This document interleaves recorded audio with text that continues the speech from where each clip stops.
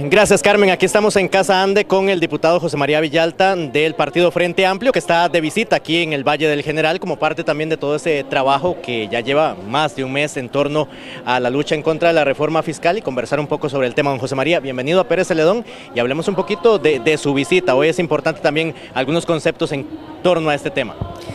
Bueno, sí, eh, mucho gusto, un saludo para todas las personas que nos siguen por Canal 14, un saludo a toda la gente linda de Pérez León y de la zona sur en general.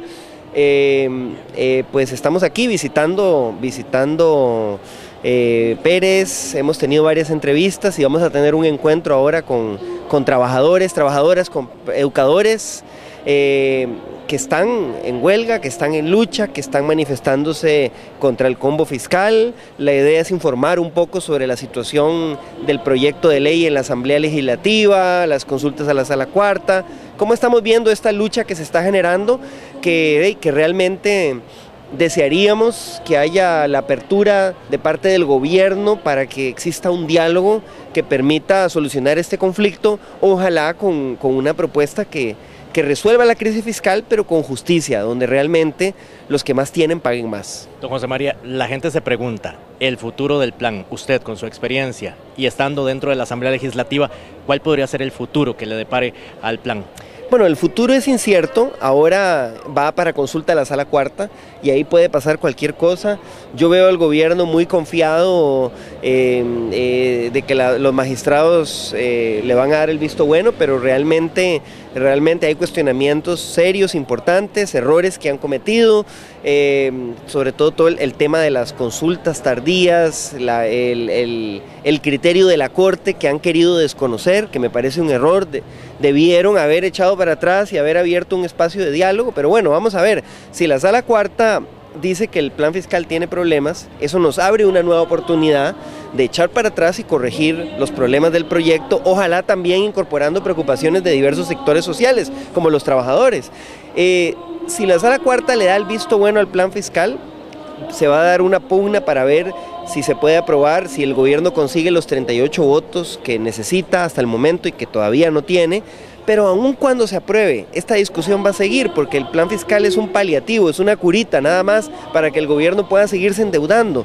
Entonces, el debate sobre cómo tener una reforma fiscal justa, integral en Costa Rica, va a seguir, vamos a seguirlo teniendo.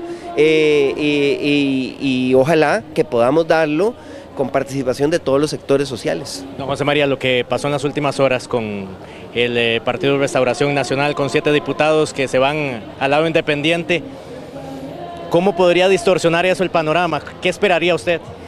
Bueno, sí tiene relación. Hay que decir que, el, que la bronca en restauración viene de atrás, de la campaña, y el enfrentamiento que hubo entre Carlos Avendaño y Fabricio Alvarado por el financiamiento de la campaña, que es un tema que está en investigación y que nosotros también hemos estado investigando y denunciando las irregularidades que podrían haberse dado ahí.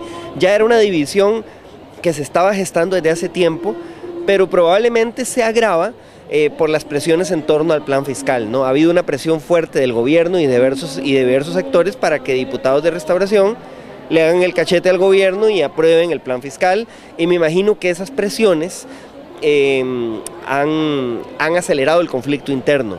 Vamos a ver, obviamente al darse esta división eh, eh, se aumentan las posibilidades de que el gobierno logre convencer a algunos diputados que cambien su posición en contra del proyecto Vamos a ver si lo logran. Em, yo creo que igual la ciudadanía lo que tiene que exigirle a todos los diputados, los que votaron a favor y en contra, es que les escuchen, que razonen sus posiciones, que atiendan sus preocupaciones. Así que, que es un factor que no se puede desdeñar, pero eh, hay que esperar para ver hasta dónde van a llegar las consecuencias. José María Villalta, que es eh, diputado del Partido Frente Amplio y que se encuentra de visita aquí en el Valle del General para compartir algunos conceptos aquí en Casa Ande con muchísimas personas que se han acercado de ya 45 días de lucha sindical en contra de la reforma fiscal. Yo vuelvo al estudio central con más detalles aquí en SN Sur Noticias.